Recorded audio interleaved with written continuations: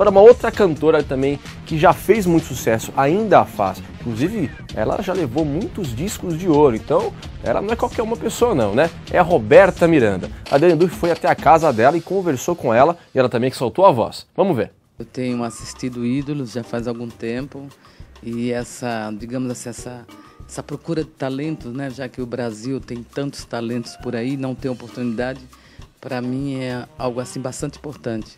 O que, que você pode dar de conselho? Você vê que as pessoas eles estão lá, eles levam bastante não na vida, né? É verdade. E pelo que eu vi dessa história, você também não foi uma história fácil. Conta um pouquinho para quem não conhece não, como é não, que foi. Não foi fácil. Fiquei 14 anos trabalhando em bares aqui em São Paulo, sempre com algumas promessas e nada concluídos, e aquilo me deixava muito chateada, muito magoada. Ah, muitas e muitas vezes quis desistir, claro, do meu sonho, mas está no sangue e a gente não deve desistir. Não vai ser um não que vai nos esmorecer de repente. Não, não, ah não. Não. E não, não. Eu lembro que eu tinha uma canção que depois se tornou muito sucesso. Entrou, foi a primeira canção a entrar em Rio de Janeiro, Norte Nordeste. Eu fui a primeira artista sertaneja a entrar ah, sem nenhum preconceito. E essa canção, um dia eu levei numa determinada editora e disse para o cara, olha, ainda era na fita cassete. Falei, eu sou compositora, tenho uma música aí para você mostrar para o Christian Ralph. E quando eu virei as costas, eu percebi que ele disse, ah, imagina, e jogou. Eu ouvi o, ouvi o barulho, até hoje ele é presente é, nos meus ouvidos, que ele jogou a minha fita no lixo. E quando essa música fez sucesso, que é de igual para igual, não toque em mim, eu descobri que você não é nada. Não podemos seguir juntos nessa estrada. É o fim de um amor sincero que eu senti. Essa música se tornou um sucesso. Aí essa sensação Ah, de e aí pessoa... quando, quando hum, os meninos chegaram para mim, poxa, por que você não me deu essa música? Eu disse, não, essa música eu mandei para você, a editora jogou no lixo. Então isso aqui, de viva voz, eu tô falando para vocês que não desiste não. Quando você, você consegue lembrar assim, de algum não que você levou? Quem estava do seu lado? Como é que foi esse momento assim, o mais os- difícil? Não, todos os não, muitos nãos eu recebi. Recebi de gravadora, recebi, eu tenho até hoje guardado ah, de um grande presidente da Sony Music, hoje ele não está mais lá. Quando eu fui levar minha proposta de trabalho, eu disse, olha, sinto muito, gosto muito, mas mulher não vende muito disco. No primeiro disco, alguém vendeu um milhão e meio de cópias, é uma coisa que eu acho que é inédito. Alguém, depois de alguns discos, vendeu um milhão, um milhão e pouco.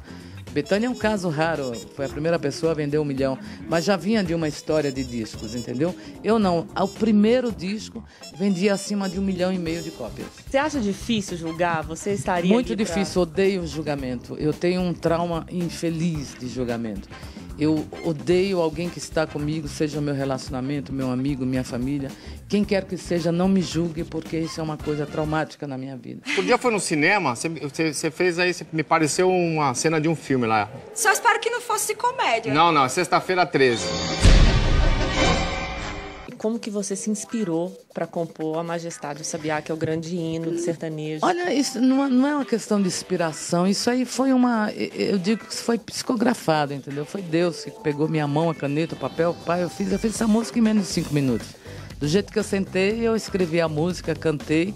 Eu tinha, eu tinha ganho de presente um pássaro da Wanda Alves, que é minha grande amiga, a pessoa que me apoiou muito na vida. E ali eu comecei a dedilhar e o pássaro cantava. Dedilhava e o pássaro cantava. Eu comecei então pela, pela, pela, pela, pela, pelo refrão, entendeu? Homenageando ele. Interessante, esses dias eu tinha, estava analisando. Eu tenho hoje mais quase 800 músicas, umas cento e pouco inéditas ainda. E a música que mais estourou, vendeu muitos milhões de discos, o mundo inteiro conhece. Acabei de chegar de Moçambique, Maputo, super lotado, não tinha ingresso, o pessoal cantando Majestade do Sabiá. Tá aí registrado. E a música que não fala de amor, que não fala de muitas coisas, não é? Que, que eu componho. E a música que mais fez sucesso. Mas ela fala de saudade, ela fala de um déjà vu, ela fala de uma viagem né, interna que você faz. Então, Majestade do Sabiá, para mim, é oração pura. Até hoje eu canto como se fosse uma oração. Tô indo agora pra um lugar meu. Quero uma rede preguiçosa pra.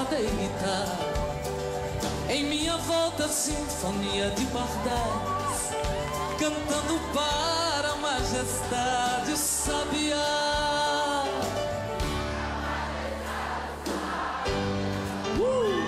Esse vendeu um milhão e meio de Um cópias. milhão e meio de cópias. É. Que bacana, gente. Deve dar um orgulho enorme pra você ver todo Ah, esse sim, material. bastante. Eu amo, né?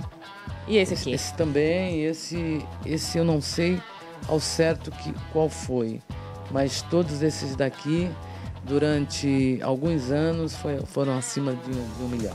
Por isso, hoje, completando 18 milhões de discos, quase 18, porque de uns anos para cá a pirataria, claro, nos prejudicou demais. Mas como vendia-se muito, aí deu pra gente fechar nessa casa aí de 18 milhões de discos. Eu vou mostrar, ah, inclusive você chegou, eu estava terminando de passar, eu fiz essa música anteontem, é uma música inédita, e eu sempre coloco no meu CD ou no meu DVD agora que eu vou fazer, algo diferente, uma batida diferente, e, e aqui vai mais essa batida aí eu quero bastante diferente, bastante dançante, sem ser forró. A gente procurando um ritmo aí bem legal, entendeu? A lá James Brown, que eu gosto muito. Chama-se Onde Mora o Coração. Onde mora o coração.